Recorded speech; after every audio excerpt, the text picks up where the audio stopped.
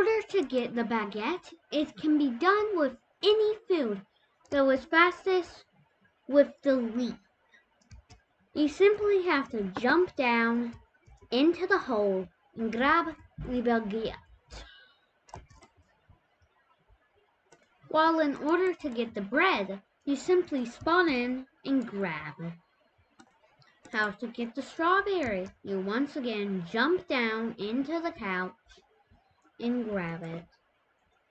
Once you have the strawberry, you can simply just jump down into the pot and grab the potato.